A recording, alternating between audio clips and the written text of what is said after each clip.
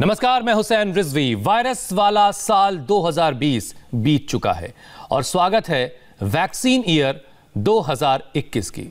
नए साल के पहले दिन कोरोना वैक्सीन पर आज बड़ी खुशखबरी मिल सकती है। आज ड्रग कंट्रोल ऑर्गेनाइजेशन की सब्जेक्ट एक्सपर्ट कमेटी की बैठक है, जिसमें कोरोना वैक्सीन के इमरजेंसी इस्तेमाल की इजाज़त पर फैसला हो सकता है।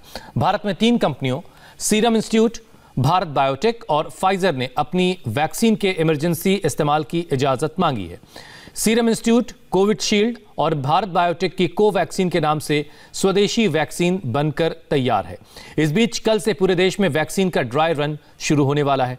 केंद्र सरकार ने सभी राज्यों और केंद्र शासित प्रदेशों से तैयार रहने के लिए कहा है। तो कल से ड्राई रन की शुरुआत होगी। इससे पहले भी हमने देखा है कि ड्राई रन एक, एक दो राज्यों में हुआ है। और कल सभी राज्य ड्राई रन करके चेक करेंगे कि वो कितने तैयार हैं वैक्सीनेशन के लिए। तो वैक्सीन पर आज कैसे खुशखबरी मिलेगी ये आपको अब डिटेल में जरा बताते हैं। आज Central Drug Standard Control Organisation यानी सीडीएससीओ की बैठक होनी है। सीडीएसओ एससीओ की सब्जेक्ट एक्सपर्ट कमिटी वैक्सीन पर अहम बैठक करेगी। आज की बैठक में कोरोना वैक्सीन के इमरजेंसी यूज़ को लेकर के फैसला होगा। अभी तक तीन कंपनियाँ इस कतार में हैं, सीरम इंस्टीट्यूट, भारत बायोटेक और फाइजर। इन तीनों ने इमरजेंसी यूज़ की इजाज़त मांगी है। सब्जेक्ट एक्सपर्ट कमेटी तीनों कंपनियों के ट्रायल डेटा को रिव्यू करेगा, जिसके बाद Drug Controller General of India को अपनी सिफारिश भेजेगी। ये कमेटी और उसके बाद फिर फैसला होगा। इन तीनों कंपनीज़ की जो अब तक की ट्रायल की जो रिपोर्ट है, उसको रिव्यू किया जाएगा आज की बैठक में। पिछले करीब एक महीने से वैक्सीन पर सरकार सुपर एक्टिव है। 9 दिसंबर को कोरोना वैक्सीन पर सब्जेक्ट एक्सपर्ट कमेटी की बैठक हुई। फाइजर ने अपनी वैक्सीन का डेटा देने के लिए कुछ और वक्त की मांग की थी। सीरम इंस्टीट्यूट ने सुरक्षा डेटा जमा किया था, वो सिर्फ़ 14 नवंबर तक का था। उसे और डिटेल डेटा देना था, जिसकी मांग की गई थी कमेटी की तरफ़ से। भारत बायोटेक से भी और जानकारी मांगी गई है। 17 दिसंबर को फिर सब्जेक्ट एक्सपर्ट कमेटी की बैठक हुई, जिसमें सीरम इंस्टीट्यूट और भारत बायोटेक से कुछ और डेटा मांगा गया। आखिरी बार 30 दिसंबर को कोरोना वैक्सीन पर सब्जेक्ट एक्सपर्ट कमेटी की बैठक हुई है, जिसमें फाइजर, सीरम और भारत बायोटेक की वैक्सीन के इमरजेंसी इस्तेमाल पर चर्चा हुई है। आज एक बार फिर से ये अहम बैठक होने जा रही है। कोरोना वैक्सीन पर एक और गुड न्यूज़ है, ड्राई रन की, जो कल से शुरू होने जा रहा है। 24 घंटे बाद वैक्सीन का ड्राई रन शुरू हो जाएगा। देश के सभी राज्यों में होगा वैक्सीन का ड्राई रन। राज्यों की कुछ चुनिंदा जगहों पर ड्राई रन किया जाएगा।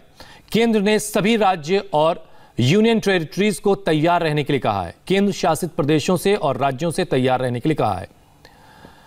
28 29 दिसंबर को चार राज्यों में पहले भी ड्राई रन हो चुका है। हमारी संवाददाता विजय लक्ष्मी इस वक्त हमारे साथ सीधे जुड़ चुकी हैं। विजय लक्ष्मी, आज की जो सब्जेक्ट कमेटी की जो बैठक है, वो कितनी अहम है और क्या आज किसी तरह के नतीजे हमें मिल सकते हैं कि वैक्सीनेशन कब से शुरू हो रहा है, इसकी कोई तारीख आज हमें मिल सकती है क्या?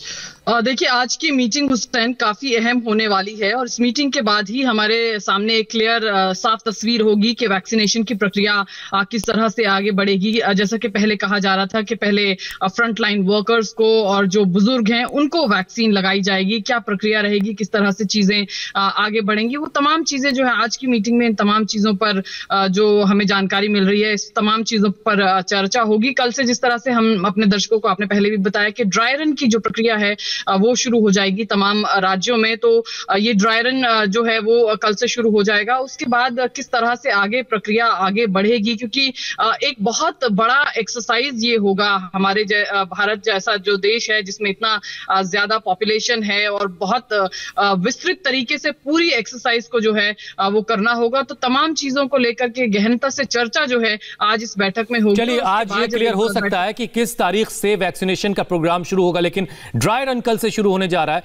विजय लक्ष्मी आप दिल्ली में हैं। इससे पहले भी चार राज्यों ने ड्राई रन किया है। दिल्ली में कैसी तैयारी है ड्राई रन के लिए? देखिए हुसैन दिल्ली में क्योंकि जो यूनिवर्सल इम्यूनाइजेशन प्रोग्राम है यूआईपी जिसको बोलते हैं तो ऑलरेडी जिसमें वैक्सीनेशन होता है बच्चों को उस प्रोग्राम के तहत एक इंफ्रास्ट्रक्चर तो है ही हमारे पास। तो अभी जो है वो तैयारी इसी तरह की है कि लोगों को ट्रेन किया गया है फ्रंट लाइन वर्कर्स हो हेल्थ जो हेल्थ केयर वर्कर्स हैं स्पेशल ट्रेनिंग उनको दी गई है। हर लेवल पे गवर्नमेंट कुल मिलाकर विजय लक्ष्मी कोशिश इस बात की है कि अपना जो अपनी जो तैयारी है उसको एक बार चेक कर लिया जाए। इससे पहले कि जब हम ये अनाउंस कर दें कि फला तारीख से वैक्सीनेशन का प्रोग्राम हम शुरू करने जा रहे हैं, उससे पहले खुद को चेक करने का एक प्रोसेस है, जिसे हम ड्राई रन कह रहे हैं। वैक्सीन पर सरकार फुल एक्टिव है तो वैक्सीन में इस्तेमाल होने वाली सिरिंज को लेकर भी सरकार ने तिरासी करोड़ का बड़ा ऑर्डर दिया है। हमारी रिपोर्टर विजय लक्ष्मी ने कुछ दिन पहले सिरिंज मैन्युफैक्चरिंग यूनिट का जायजा लिया था।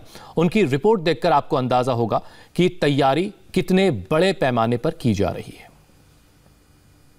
हिंदुस्तान सिरिंजेस जो कंपनी है, यहाँ पर पर प्रतिदिन हर घंटे में एक लाख सिरिंजेस बनाए जा रहे हैं और साढ़े अट्ठारह करोड़ सिरिंजेस जो है इस कंपनी को मार्च तक जो है डिलीवर करने हैं। तो वैक्सीनेशन की जहाँ तक बात है, तैयारी ज़ोर शोर से है, भारत सरकार की भी। कोविड की जहाँ तक बात है तो ज़्यादातर जो कंपनीज़ जिन्होंने अप्रूवल के लिए परमिशन मांगा है 0.5 फाइव एम सिरिंजेस का यूज़ उन वैक्सीन के लिए किया जाएगा। तो यहाँ पर जिस मैन्युफैक्चरिंग यूनिट में है हम आपको दिखाएँ तो तीन हिस्से होते हैं। एक सिरिंज को बनाने के लिए एक नीडल की ज़रूरत होती है। आ, आ, हम तमाम लोग जो हैं यूनिवर्सल इम्यूनाइजेशन प्रोग्राम के तहत हम सभी को कभी ना कभी वैक्सीन जो हैं वो लगे हैं। टीकाकरण भारत की अगर बात करें पूरी दुनिया में होता है तो सिरिंज की बात करें ये नीडल है। सामने ऑटो डिसेबल नीडल है ये।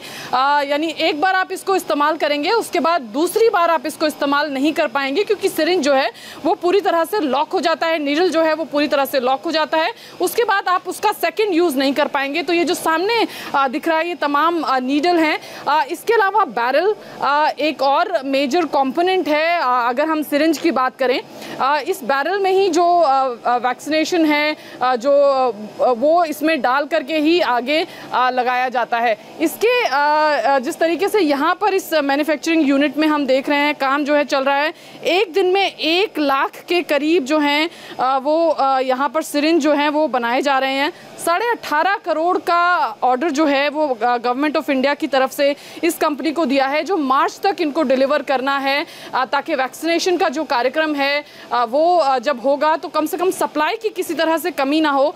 इसकी पूरी तैयारी जो है वो गवर्नमेंट ऑफ़ इंडिया भी कर रही है और इस तरह की तमाम कंपनीज़ को जो हैं, जो सिरिंजेस बनाते हैं वैक्सीनेशन का काम तो अलग से चल ही रहा है, लेकिन सिरिंजेस बनाने वाली कंपनी को भी बड़े ऑर्डर दिए गए हैं। जिस तरह से मैंने आपको बताया, एक नीडल होती है, उसके अलावा एक प्लंजर गैसकिट होता है। प्लंजर गैसकिट अगर आपने एक वैक्सीन अगर देखा हो तो उसमें जिससे पुश करते हैं जो उसके अंदर लिक्विड होता है, जो वैक्सीन के अंदर उसको पुश करने के लिए जिस जो चीज़ होती है, उसको प्लंजर गैसकिट कहते हैं और इसके अलावा बैरल होता है जिसमें उसको भरा जाता है। तो ये पूरा सिस्टम है, इससे निकल कर के जो सिरिंज है वो बाहर आता है और फिर उसके बाद यहाँ पर मैन्युअली भी एक एक सिरिंज की चेकिंग की जाती है और जो सिरिंज ख़राब होते हैं उनको बैड पार्ट सिरिंज कहा जाता है उनको एक तरफ़ निकाल दिया जाता है।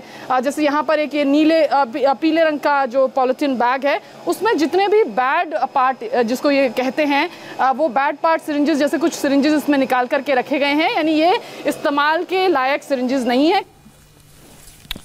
तो देखा आपने कैसे वॉर लेवल पर तैयारी हो रही है। पीएम मोदी ने भी कहा है कि कोरोना की वैक्सीन अब दूर नहीं है लेकिन इसी के साथ मोदी ने वैक्सीन को लेकर फैलाई जा रही अफवाहों से बचने के लिए भी कहा। पीएम मोदी ने 2021 का नया मंत्र भी दिया। मोदी ने कहा कि अब दवाई भी और कड़ाई भी के साथ हमें चलना होगा। मैं पहले कहता था जब तक दवाई नहीं तब तक ढिलाई नहीं। बार बार कहता था, अब दवाई सामने दिख रही है। कुछ ही समय का सवाल है। तो भी मैं कहूँगा। पहले मैं कहता था, दवाई नहीं तो ढिलाई नहीं। लेकिन अब मैं फिर से कह रहा हूँ, दवाई भी और कड़ाई भी। कड़ाई भी बरतनी है और दवाई भी लेनी है। दवाई आ गई तो सब छूट मिल गई। ये भ्रम में मत रहना। दुनिया यही कहती है, वैज्ञानिक यही कहते हैं।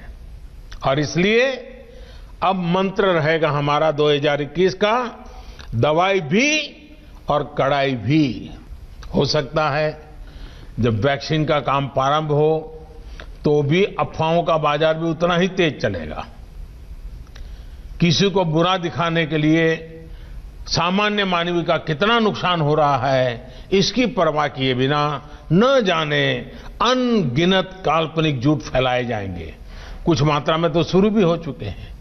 और भोले भाले गरीब लोग, या कुछ बद इरादे से काम करने वाले लोग, बड़े कन्विक्शन के साथ इसको फैलाते हैं। मेरा देशवासियों से आग्रह होगा कि कोरोना के खिलाफ एक अनजान दुश्मन के खिलाफ लड़ाई है। अफवाहों के बाज़ार गर्म न होने दें। हम भी सोशल मीडिया में कुछ भी देखा बिना फॉरवर्ड न करें। हम भी एक जिम्मेवार नागरिक के रूप में आने वाले दिनों में देश के अंदर स्वास्थ्य का जो अभियान चलेगा, हम सब अपनी तरफ़ से योगदान दें। हम सब अपनी तरफ़ से जिम्मेवारी उठाएँ। सरकार कोरोना वैक्सीनेशन की तैयारी में है तो वैक्सीन पर अफवाह, गैंग भी एक्टिव है, जिससे बचने की नसीहत खुद पीएम मोदी ने दी। रजा अकेडमी ने डब्ल्यूएचओ को खत लिखकर वैक्सीन में जेलेटिन पर सफ़ाई मांगी है और मुसलमानों को फ़िलहाल वैक्सीन लगाने से परहेज करने के लिए कहा है। उन्होंने जवाब दिया बड़े इस्लामिक स्कॉलर मौलाना महमूद मदनी ने। ये जवाब रजा एकेडमी को दिया है, मदनी साहब ने। मदनी ने कहा कि जब जान पर बनाएगी तो हलाल और हराम का फ़र्क भूलना ही बेहतर है। हमारे यहाँ इसी तरह से जो मुसलमानों में एक वो हो गया है कि उसमें सुअर की चर्बी मिलाई गई है जिलेटिन है। तो जिस चीज़ में जिलेटिन होगा सुअर का, वो वो दवा वे वैक्सीन जो है, वो इस्तेमाल करना हराम है। तो ये एक बहस चल रही है। और हमने उसी सिलसिले में डब्ल्यू एच ओ की भी कल जो है, रजा अकेडमी ने एक लेटर लिखा है कि उसमें कि उसमें कौन कौन से कंटेंट्स हैं और कौन कौन से कंट्री ने जो है वैक्सीन है और उसमें कंटेंट क्या क्या है? ताकि वो लेटर जवाब आने का चूँकि डब्ल्यू एच ओ के पास सारे कंट्री वो उनका जो है मतलब कंफर्मेशन के बाद ही वैक्सीन लगाया जाता है। हमें ये इख्तियार नहीं है कि हम किसी हलाल चीज़ को हराम कह दें या हराम चीज़ को हलाल कह दें। ये हमारा इख्तियार नहीं है। दूसरा एक ये ये पोजीशन है कि आदमी के इंसान के लिए, इंसानियत के लिए, मानवता के लिए एक बड़ी चुनौती बन, बनकर ये पिछले आठ नौ महीनों से खड़ी है ये चीज़, लाखों लोग मर गए। तो ऐसे में जल्दबाजी नहीं करनी चाहिए। यानी हम लोगों को भी इसको हराम कहने में या इसको, इसके मुखालिफत करने में, इसका विरोध करने में जल्दबाजी नहीं करनी चाहिए। ऑफ़ कोर्स ये तो मैं समझता हूँ कि बुनियादी तौर पर इतनी बात तो कहने में कोई हरज नहीं है। कि इसको समझना चाहिए कि ये किन चीज़ों से बनाया गया है। अगर बनाई जाने वाली कंपनियाँ, रिसर्च स्कॉलर, साइंटिस्ट, ये यकीन दिला दें कि हाँ इसमें कोई ऐसी चीज़ नहीं है तो ये अच्छा ही होगा। हालाँकि इसके बावजूद भी अगर ज़रूरी होगा तो इसी को इस्तेमाल करना पड़ेगा, ये भी है। तारीख बदल गई है, साल बदल गया है।